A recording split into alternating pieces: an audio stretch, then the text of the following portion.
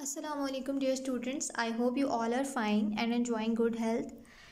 Today we are going to study further about the novel Oliver Twist written by Charles Dickens. What we read yesterday was a little introduction to the novel and its writer and we read some pages about who was Oliver Twist, a poor orphan boy, how he, her caretaker Mrs. Mann was take, uh, taking care of the children very cruelly and harshly beating them and not giving them enough food same with the case with mr bumble when he came the uh, the woman mrs mann pretended that she was very good to children and gave them food and make them happy and all that lameness the other thing oliver how oliver meets the board and how he her his friends ask him motivate him to ask for more food.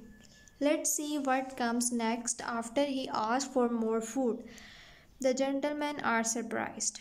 The master was so surprised that at first he could not speak. His fat face turned red and he looked at oliver for a long time.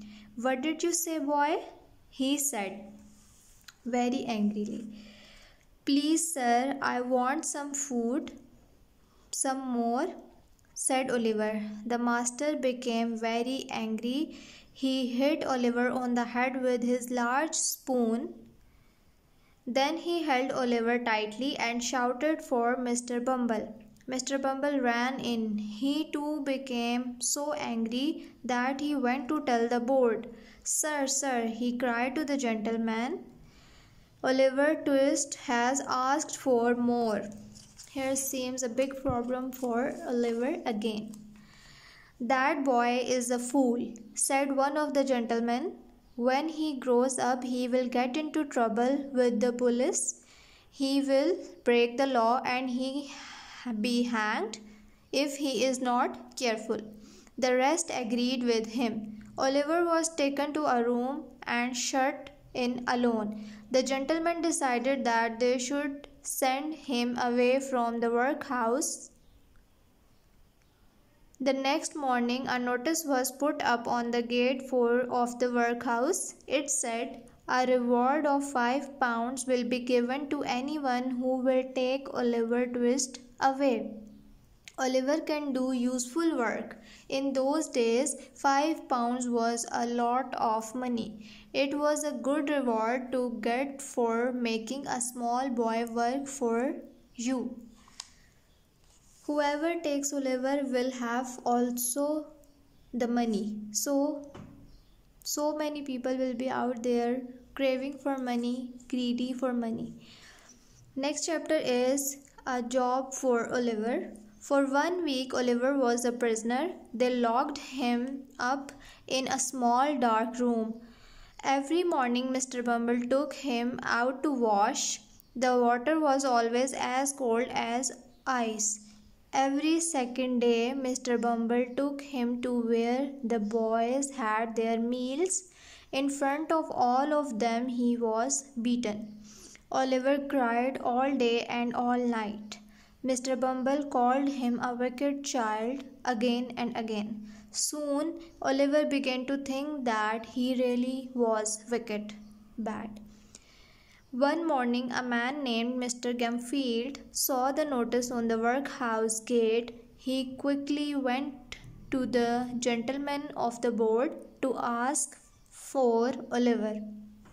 Mr. Limbkins one of the gentlemen looked at Mr. Gamfield and said, What do you want the boy to do? Chimney sweeping, said Mr. Gamfield. I want him to climb up into the chimneys.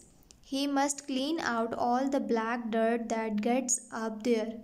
A chimney is a dark and dirty place where the smoke from a fire goes.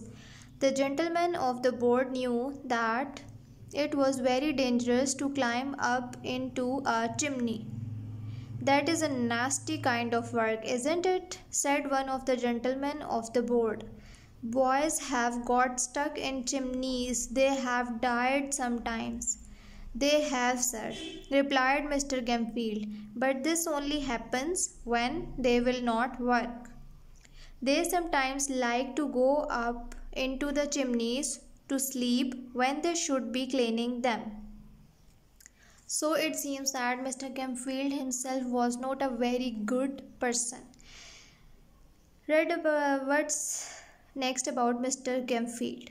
One of the gentlemen said, We are sorry, Mr. Gamfield, but we can't let you have Oliver Twist.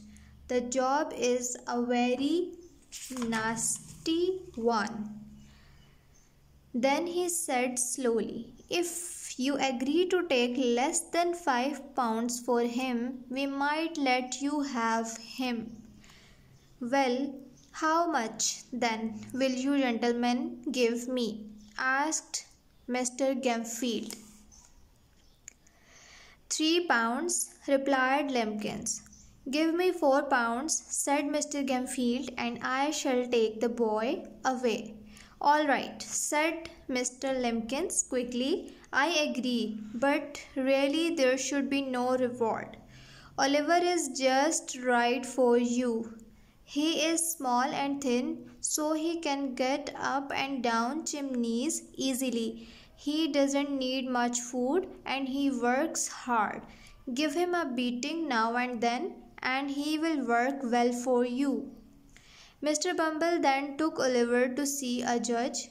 Judges are people who make sure everyone obeys the law. One law said that before a boy could work outside the workhouse, he must go to see a judge. The judge would ask a few questions. Then, if he agreed that everything was all right, he would write his name at the bottom of a paper. Mr. Bumble Oliver to the, took Oliver to the judge to get a paper of agreement. On the way, Mr. Bumble said fiercely, harshly, cruelly to Oliver, Boy, if you tell the judge that you are not happy, I shall punish you. If you tell him you do not want to be a chimney sweep, I shall punish you for that too. A kind old judge. Maybe, let's see, was he kind to Oliver? They entered the judge's room. After the judge had talked to Mr. Gamfield and Mr. Bumble for a few minutes, he was ready to sign the paper. But Oliver was looking at Mr. Gamfield's ugly, cruel face. He was afraid and began to cry. The judge was kind, old gentleman. He turned the turned to Oliver in surprise and said gently, My dear boy, you look frightened, afraid. Oliver said nothing and went on crying. The judge then turned to Mr. Bumble and said, You, sir, stand away from the boy. Then he spoke kindly to Oliver and said, Now, boy, tell me why you are crying. Oliver fell down on his knees. He begged them not to send him away with Mr. Gamfield. He said that it was better to, better to go back to the workhouse and be locked away, beaten, or even killed. What? cried Mr. Bumble, looking very angry. Oliver Twist, you really are a wicked boy. Bad boy. You only think about yourself. Be quiet, officer, said the judge. Mr. Bumble was surprised. Then the judge turned to Mr. Gamfield and said, I will not let this boy work for you. And he tore up the paper of agreement. To Mr. Bumble, he said, Take the boy back to the workhouse officer and be kind to him. So, Oliver did not work as a chimney sweep. Fortunately, luckily, next morning another notice went up at the workhouse gate. Oliver starts work at Sowerberries. Some days passed and still no one came for Oliver and the five pounds. The gentlemen of the board became tired of waiting. Mr. Bumble had a friend, Mr. Sowerberry, who had a shop quite near the workhouse. Mr. Bumble had an idea. He told Mr. Sowerberry about Oliver and talked to him for a long time. Mr. Sowerberry agreed to take Oliver. Then Mr. Bumble told the board and they were all happy with his plan. Very soon after that, Mr. Bumble took Oliver to Mr. Sowerberry's shop. Here, Sowerberry, I have bought the boy, said Bumble. Oh, that's the boy, is it? Mr. Sowerberry said, looking at Oliver. He called to his wife, My dear, will you come here a minute?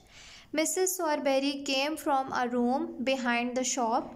She was a thin little woman with an angry face. My dear, said her husband in a gentle voice, this is the boy from the workhouse. He is very small, isn't he? said Mrs. Sowerberry. She looked angry. I don't see how he can be useful to us. With that, Mrs. Sowerberry opened a door and pushed Oliver down some steps into a dark kitchen. Mrs. Sowerberry said to a girl servant, Here, Charlotte, give this boy those small pieces of meat that dog didn't want. Oliver was so hungry that he ate all this food. Mrs. Sowerberry watched him. She thought it would cost a lot to feed such a boy. Now, come with me, she ordered. With a lamp in her hand, she led Oliver upstairs. You will sleep here in the shop, she said. Then she left. Oliver was alone. The lamp was only a small one. It did not give out much light. He looked around him and saw that in the shop there were three or four large boxes made of wood. They were a strange shape. He looked at them carefully for a minute and then he knew what they were. They were coffins, boxes for the bodies of dead people. Now, Oliver understood that he was going to work in an undertaker's shop. He felt afraid and very unhappy. Noah Claypole makes Oliver angry. Next morning, there was a loud noise. Someone was banging on the shop door by kicking it with the boot. Banging knocking badly. He was also shouting angrily to Oliver, Open the door. Oliver quickly ran to the door and opened it. He saw a boy older and taller than himself. This was Noah Claypole. Come downstairs for your breakfast and eat it quickly. Then go to work. Mr. Sowerberry says you must do everything I tell you, he said. Oliver soon found that life in an undertaker's shop was hard. There was never enough to eat. Also, Mrs. Sowerberry and Noah Claypole were cruel to him, but most of the time Oliver said nothing about it. One day, he and Noah were alone in the kitchen. They were waiting for their dinner. Noah wanted to give some fun, to have some fun. He turned to Oliver, pulled his hair, and pinched him. Workhouse boy, how's your mother? he asked. She is dead, replied Oliver, and don't you say anything bad about her to me. What did she die for? Noah asked. Of a broken heart, some people said, replied Oliver. Tears came into his eyes. Noah was happy to see this. Ha, ha, workhouse boy, he laughed. So why are you crying now? Don't you say anything more to me about my mother, Oliver said. Your mother? cried Noah. She was a bad one, workhouse boy. She was. It's a good thing that she died. Ha ha. This made Oliver very angry. His face became red. He caught Noah by the neck. He shook him hard, then threw him to the ground. Noah began to shake with fear. Help, help, cried the coward. Charlotte, mistress, help me. The new boy is killing me. Here, the boy, after disturbing him, making noises for getting help from others. What's coming next? Let's see. Oliver decides to run away. Charlotte, the servant girl, ran in screaming. Mrs. Sowerberry followed, also screaming. Charlotte hit Oliver. Mrs. Sowerberry held Oliver and scratched his face. Then Mrs. Sowerberry and Charlotte dragged Oliver to a large cupboard threw him in there and locked the door. Run to Mr. Bumble, Noah, cried Mrs. Sowerberry, and tell him to come at once. Noah ran off. He did not stop until he reached the workhouse gate. When he saw Mr. Bumble, he cried out, Oh, sir, sir, Oliver has tried to kill me and Charlotte and my mistress. Mistress wants you to come at once and punish Oliver. Mr. Bumble, when Mr. Bumble and Noah reached the undertaker's shop, Oliver was still in the cupboard. He was kicking the door and shouting. Mr. Bumble did not open the door. He put his mouth to the keyhole and said in a deep voice, Aren't you afraid of me, boy? No, said Oliver loudly. Mr. Bumble looked surprised. He is mad, Mr. Bumble, said Mrs. Sowerberry. He is not mad, Mr. Sowerberry, Mrs. Sowerberry, but how? But you have given him too much to eat, and so he is become bad. Leave him there for a day or two without any food. When Mr. Sowerberry turned home, his wife told him to punish Oliver. The undertaker gave Oliver a good beating, then he shut him up in the kitchen. When he was alone, Oliver cried.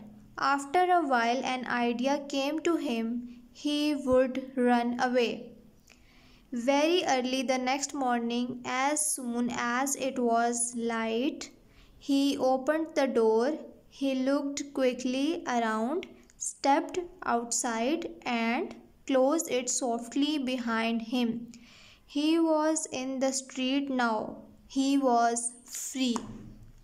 So, children, what we have seen that without parents, orphan Oliver was living a very poor and bad life, bitten by everyone, crying all day and nights, and being unhappy was his life. Here, he has taken a step forward and thought of running away from the bad people, away from the bad environment. What's coming next?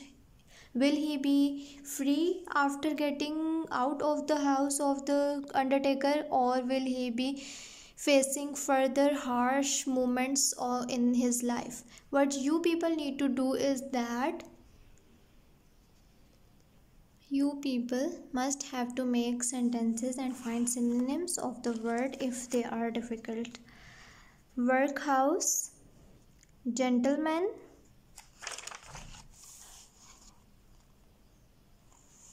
chimney on page 8 next word is tore up tired angry banging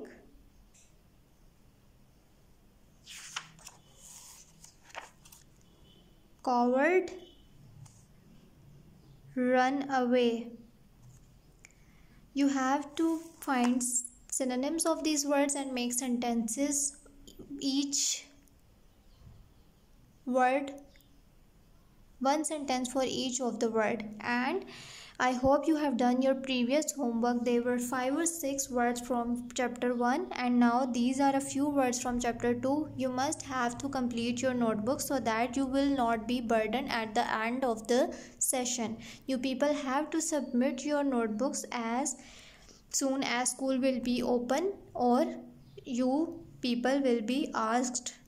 So kindly complete your notebooks, done your homework, be prepared for exams See you in the next lecture. I hope you will do your homeworks and review your lectures. Thank you very much. Allah Hafiz.